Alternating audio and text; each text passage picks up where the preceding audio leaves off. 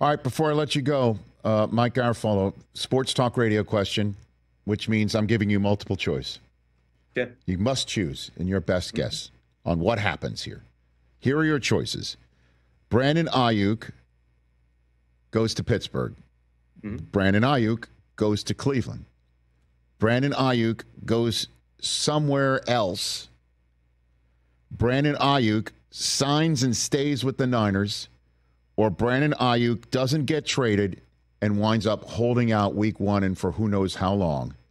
Those are your five choices. Mike Garafolo, you started this conversation with an educated guess. I'd like your Yeah. educated guess on the final question here. What do you have? Let me just make sure. I always got to check the text to see if no nothing happened. Nothing. Okay.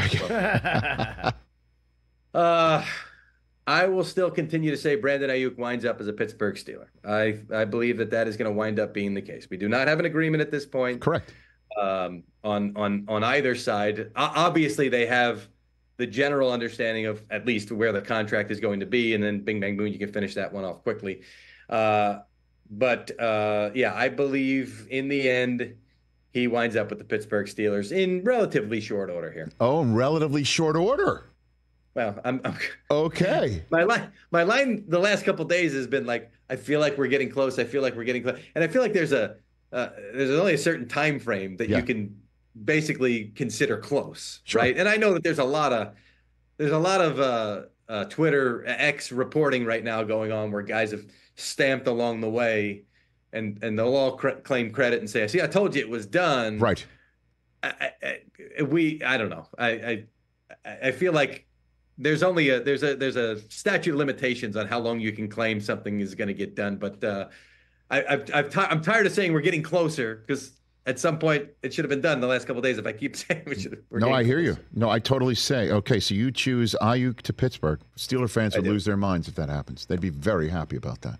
Certainly if they keep Pickens at the same prop time. you It know. would be it would be a great addition at this time. And and again, I I in the end, if that winds up happening, especially what we know with what New England offered to get him at the number that I believe you'll wind up getting him at, um, should only make you even more happy. And Justin Fields is the week one starting quarterback there?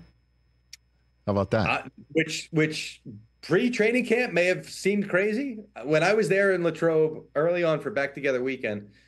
Uh, they made a point of uh, when I had conversations with folks behind the scenes, making a point of saying everybody's assuming that Russ was the guy. Like Mike Tomlin only said he was in the pole position. This is a competition here, and Russ hasn't been on the field.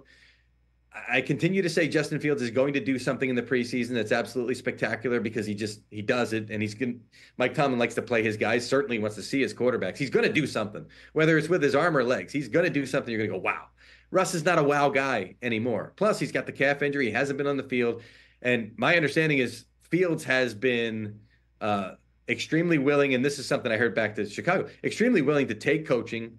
Um, and so Arthur Smith and his coaching staff have feel like there's been progress there. So yeah, he's. I- I'm covering that game tomorrow on NFL Network. Uh, the Steelers and the Texans. If I can get there with all the rain coming up the Eastern Seaboard, I'll probably wind up driving when all is said and done just to make sure I get there. Catch the Rich Eisen Show every single day on the Roku channel, 12 to 3 Eastern for free.